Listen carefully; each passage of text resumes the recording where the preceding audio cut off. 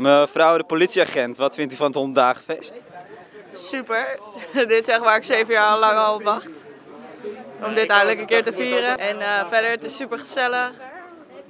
Ja, het is echt de HWC hè? Sinterklaas, het is nu net februari, eh, hoor je niet te lang eh, in Spanje te zitten. Ja, ik kom speciaal terug voor de sneeuw. Maar het is nu ook toevallig 100 dagenfeest. Is dat toeval of... eh? Ja, dat is puur toeval. Het is een feest vlak voor het 100 dagen feest. Voor, voor de 100 dagen voor, 100 dagen voor het examen. En dan mag je allemaal verkleed en voor lul lopen. eh, schurken en helden. Hartstikke leuk natuurlijk. Kijk, wij zijn roodkapje. Ja, even. Even.